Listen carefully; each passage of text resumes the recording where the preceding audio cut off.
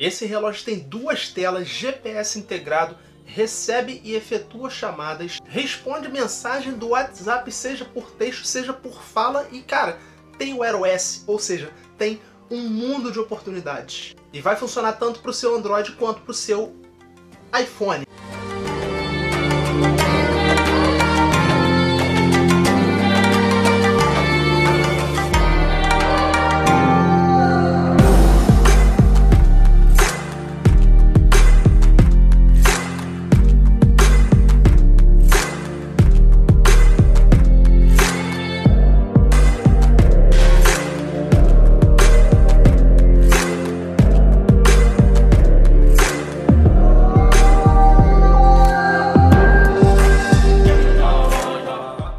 Mas eu tô aqui com um relógio Pedar Galaxy enviado pela Mobvoi, que é a empresa que constrói esses TicWatts. Inclusive já agradeço pela confiança no canal me enviar essa peça para testes para que eu fizesse vídeo para vocês de análise sincera e direta, sem aquele lance de tipo assim, ó, não fala muito mal não, tá? Meu irmão, aqui não existe isso. Me pediu, eu não vou nem fazer um vídeo, porque eu já sei que tem treta por aí. Portanto, já deixa seu like aí, ó, se inscreve no canal se você curtir esse tipo de review, de análise de produtos aqui de AliExpress, de Shopee. Tenho certeza que ao final desse vídeo você vai ter uma abrangência de informações das quais eu vou te fazer ou economizar grana, porque você vai comprar um excelente, já até tô falando muito, né? Smartwatch que custa aparentemente muito, porém perto dos demais famosões custa muito menos. Ou então vou te fazer economizar, porque de repente você vai falar, é, realmente, esse smartwatch tudo isso aí não é para mim. Aí dentro dessa caixona bonita temos o verdadeiro smartwatch, ao pé da letra. Com processador Qualcomm Snapdragon Wear 4100 Platform, 1 GB de RAM, 8 GB de ROM, 12 LEDs no sensor de frequência cardíaca, NFC para pagamentos, 577 mAh de bateria e Bluetooth 5.0 são algumas das especificações desse produto. O TicWatch Pro pesa apenas uma média de 42 gramas, com uma caixa de 48mm para 47. É uma caixinha grande, ó, já tá até aqui, cara. Não tem como. É meu uso próprio, já era. Esqueça. Esqueça tudo! Pulseirinha de silicone sólido que, querendo ou não, tem uma certa aparência, muito por conta desse costurado dela aí, de um couro. Muito confortável, tranquila, não machuca. Ela possui uma travinha, como vocês estão vendo aí no interior, que é de fácil acesso para você tirar e colocar de volta e fazer a troca né, de pulseira sendo redundante, sendo que essa milimetragem, o tamanho da pulseira, caso você queira comprar lá no camelozinho, então na AliExpress mesmo, é de 22 milímetros. Para você começar a utilizar seu TicWatch Pro 3, será necessária a instalação prévia de dois aplicativos, tanto o Wear OS quanto o Mobvoi. Cada um vai controlar uma coisa de forma resumida. O Wear OS vai controlar a parte do sistema, e inclusive tem algumas watch faces e vai controlar alguns bloquinhos. E a Mobvoi vai te dar ali todos os recursos gráficos gerados das atividades físicas, dos sensores de sono e tudo que engloba isso, além de um bônus para esse modelo também tem a parte de watch faces.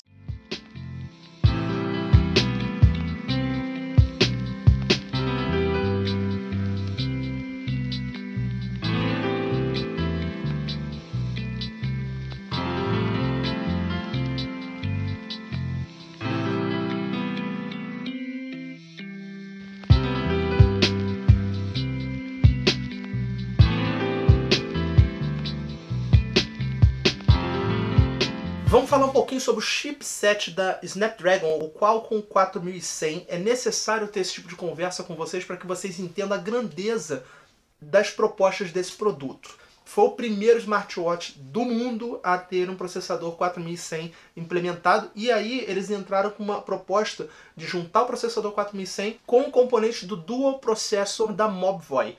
Então ele fica absurdamente rápido e tem uma eficiência de bateria muito melhor do que, tipo assim, processador que ele compara diretamente é o 3100. Muito melhor, mas muito melhor. E para fechar assim, ó, botar aquela cerejinha na ponta do bolo, esse processador pode ser atualizado para o Wear OS 3, que é a mais recente experiência em Wear OS que foi lançada. Porém, Mobvoi, por favor, Mobvoi, traz pra gente essa atualização, cara. Já passou da hora.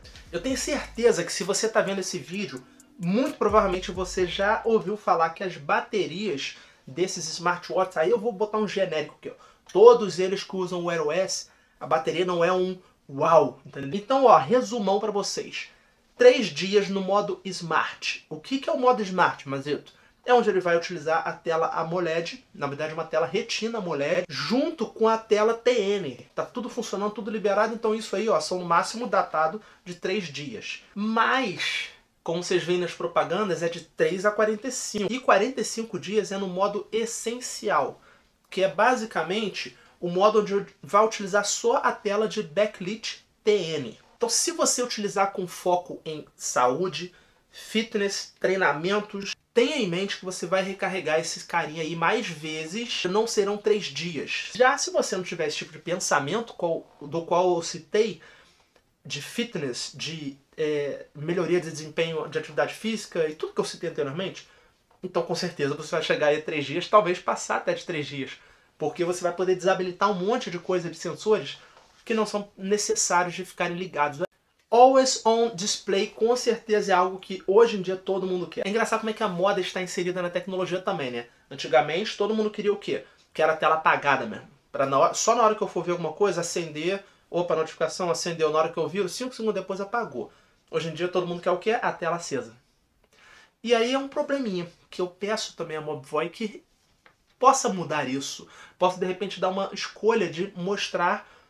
Vou explicar para vocês. Quando vocês colocam qualquer watch face e vocês ligam esse modo, essa watch face depois de uns segundos ela vai apagar e vai mostrar como se fosse assim o modo econômico dela tá? Porém diferente que se fosse mostrar o backlit. Comparado a outras marcas, o Always On das outras marcas é mostrando aquela watch face direto, cara. Saca? Então isso eu sei que toma muita bateria, mas cara, deixa pra gente escolher, por favor, meu pai.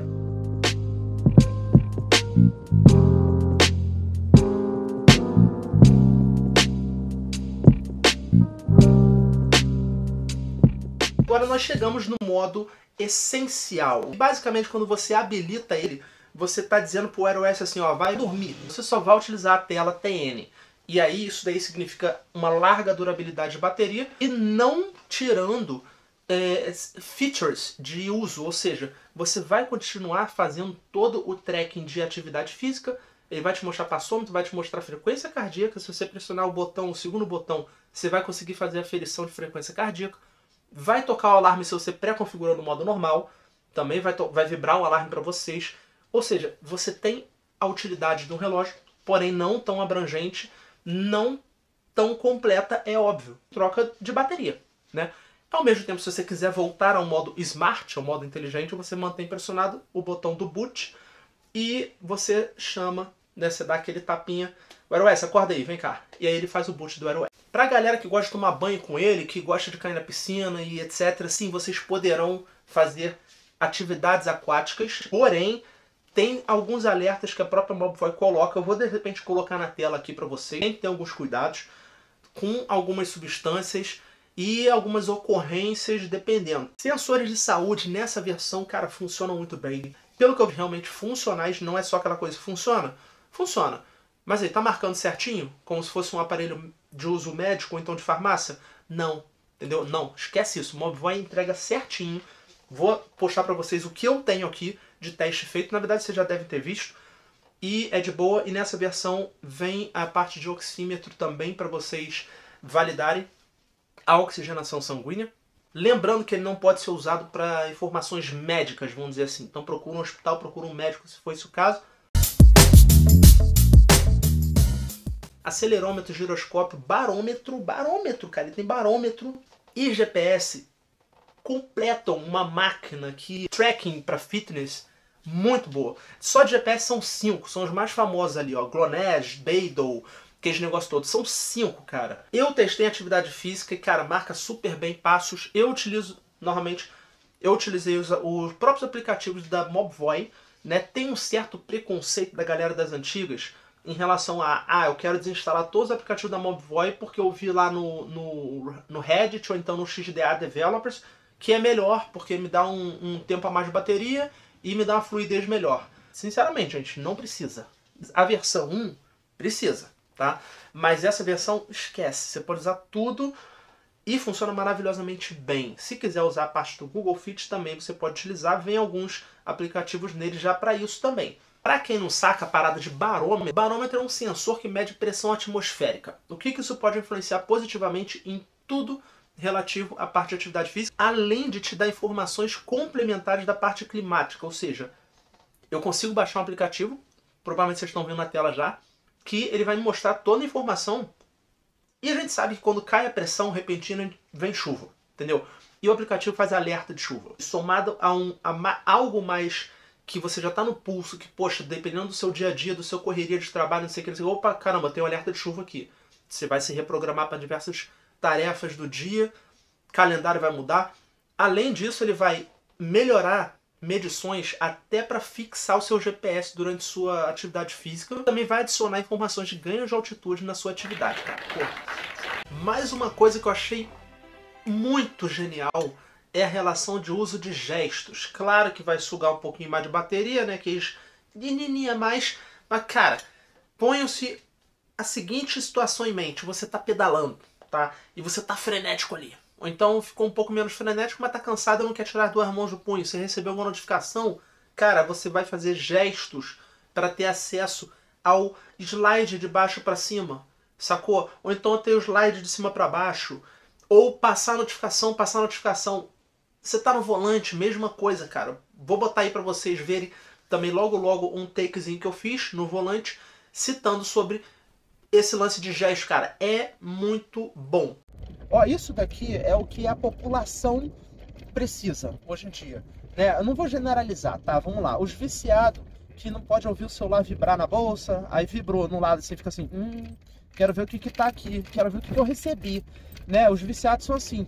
Isso daqui é perfeito, porque olha só, as duas mãos no volante, tá? Quando eu recebo uma notificação, ele vibra no meu punho, conforme eu já configurei para isso, claro.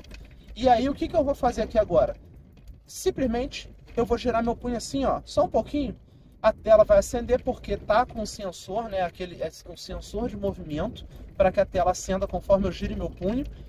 E automaticamente quando eu faço isso, a notificação aparece. Eita, buraquê! Automático. Então, com apenas um girar de punhos, eu consigo ler as notificações mostradas aqui pelo TicWatch Pro 3 no meu punho. Por que, que eu digo isso? Todos os smartwatches que eu já testei aqui, para que eu visse a notificação, para que eu conseguisse ler a notificação, eu precisava é, apertar ou o botão coroa, aí já saca de qual eu estou falando, né? Ou, enfim, e mesmo que automaticamente com giro de punho acenda a tela, ainda assim eu tinha que arrastar para cima. Sacou? Dependendo do smartwatch. Esse daqui não precisa fazer nada. NFC e pagamento, cara, tem muita muito desconhecimento em relação a isso, porque o medo da galera de relação de roubo. Você tá lá com ele parado, às vezes com ele no bolso, assim, aí chega alguém com uma maquininha por trás e encosta nele. Ai, não, ele não vai pagar nada. Então você não vai perder dinheiro, não será roubado. E outra, pô, alguém levou ele de mim, me roubaram. E aí? Ferrou. Pronto, vão limpar minha conta. Não, também não, porque obrigatoriamente, quando você for fazer a habilitação para utilizar o NFC do seu cartão previamente ativado na sua wallet, né, que hoje em dia é carteira do Google, antigo Google Pay, obrigatoriamente você vai ter que gerar um bloqueio de tela. E ele só vai funcionar, primeiro, quando você desbloquear a tela, né? Normalmente quando ele está no punho, igual está aqui no meu, ó, eu já desbloqueei uma vez, ela fica desbloqueada. Segundo ponto, né, segundo ponto dessa segurança, eu vou ter que arrastar para baixo e clicar ali para poder utilizar. Então, no meu caso, eu coloquei esse botão aqui, o segundo botão, como se fosse o atalho para isso. Então, pode ficar despreocupado que você não será roubado. Mais uma parada muito legal que você pode fazer no TicWatch Pro 3 é que você consegue ouvir músicas diretamente nele. Para tal, vocês vão baixar aí o aplicativo, que eu vou botar o nome na tela de repente, que é o Air Music Player, alguma coisa assim, que ele transfere músicas diretamente para o seu dispositivo. E, cara, melhor de tudo é você falar assim eu posso agora sair sem o celular. Sei lá, posso ir pra academia, não preciso levar o celular. E aí você só leva o seu TicWatch Pro 3 pareado com o seu fone Bluetooth. Também tem possibilidade de você utilizar o Spotify. Porém, até onde eu sei, é que eu não uso, mas até onde eu sei, você não consegue ouvir música diretamente via offline, vamos dizer, igual se fosse no celular. Então você tem que obrigatoriamente estar com o celular e ele praticamente vira um controle remoto do que está sendo mostrado. Ou seja, Pra quê? Né? Aí tem as gambiarra para você baixar um, algum Spotify mais piratation, que você vai conseguir utilizar o modo offline, só que aí já entra numa questão de que não é todo mundo que vai, vamos dizer assim, se encaixar nesse modo ADB, né, que é o de você utilizar depurações, atualizações via depuração ADB. Aí já envolve uma outra parada, envolve um, um, um caráter mais exploratório aí do, das funções de um Android. E eu não vou nem entrar muito nessas questões nesse vídeo, mas você consegue fazer? Consegue. Por isso que a gente fala assim, o TicWatch Pro 3 não é para todo mundo. E aí a gente já entra nessa questão de instalar né, aplicativos por fora, porque também você consegue pensar assim, poxa, vamos lá, vou dar um exemplo. O Air OS 3 é o único que agora compatibiliza o uso do Strava. É, e então, pô, quero usar o Strava. Porém, eu queria usar o Strava nele, né, mostrando as informações nele. Eu conseguia ali sem precisar levar um ciclo computador no pedal, o que seja. Não dá, porque ele foi bloqueado, agora só se utiliza no Air OS 3, cara. É ruim isso. Então, eu tentei trazer um Strava APK instalando via ADB, porém não consegui. Ainda assim eu consegui, por exemplo, botar um altímetro, como eu já mostrei para vocês. Não é difícil, mas conversa com, com o que eu citei. Se você é o tipo de pessoa que quer pegar e quer usar só, você não vai chegar nisso. Mas se você é o tipo de pessoa que quer explorar e vai quebrar a cabeça ali, você vai chegar um pouquinho além. Mas não precisa. Por que, que não precisa? Porque, por exemplo, de 2020 para cá, já lançaram alguns aplicativos de altímetro, Porém, a maioria é pago. Em termos de funcionalidades e de um vasto campo exploratório que esse sistema Wear OS nos entrega, cara, de fato é um smartwatch muito completo que eu certamente indico para vocês essa essa versão indico para vocês de boa. Claro, a versão Ultra que está acima dele também, com certeza uma versão mais atual. Ele virou meu smartwatch de uso próprio. Não adianta já ter no início do vídeo. Claro que ele tem seus defeitos, de vez em quando dá uma travadinha ou outra no, no circular dos menus. Tá? No início é normal, gente. O pessoal não está acostumado. Liga seu Android. Tá? Ele vai demorar um pouquinho para fazer o boot, não vai? Não vai abrir aplicativo de cara. É a mesma coisa aqui. Vocês têm que ter uma certa paciência. Depois é fluido, fluido, fluido, fluido. Mobvod, por favor, trabalhe em cima de lançar um Wear OS 3. Vale lembrar que ele não é um smartwatch para todo mundo, porém se você é uma pessoa que não gosta de fuçar, você quer pegar e começar a utilizar, pô, show de bola. E ao mesmo tempo, se você é uma pessoa que gosta de fuçar, se você sempre fez, como é que fala? É, acesso root no seu Android, sempre visitou o XDA Develops, cara, você vai se amarrar também, porque tem coisa para fazer nele. Mas eu não vejo necessidade. Do jeito que está hoje, ó, hoje eu esqueci que dia, dia 10 do 11, um dia antes do 11 do 11, esse vídeo provavelmente será postado dia 11 do 11, na verdade quase que obrigatoriamente, que eu não quero perder essa data. Dois anos após o lançamento, ele está muito melhor do que eu vejo em comparação de vídeos reviews de outros canais. Claro, né, gente, aqueles vídeos de dois anos atrás. Se por acaso você já tem um TicWatch, comenta aqui embaixo. Se por acaso você souber de algum macete a mais que eu não citei nesse vídeo, também comenta aí que pode ser que eu faça um apanhado maior, buscando lá nos fóruns da vida, e traga um vídeo novo sobre esse cara aqui. E se você gostou desse vídeo, não esqueça, deixa seu like aqui, ó, se gostou demais desse conteúdo, falou, pô, o cara, meu irmão, realmente, ele se esforça, vou ajudar o cara a crescer e vou seguir o canal dele, vou visualizar os vídeos que ele postar, não vou sumir, né, não serei um inscrito não inscrito, né, aquele inscrito que se inscreve uma vez porque gostou do meu vídeo, depois nunca mais voltou, que é pior pro canal. Então, ó, te convido a se inscrever e ficando comigo por mais alguns segundinhos só, vocês verão dois cards na tela aqui, ó, um em cada lado, tá? Que provavelmente gerarão algum interesse também ou curiosidade em assistir em 3, 2, 1 e aguardo vocês nos próximos vídeos.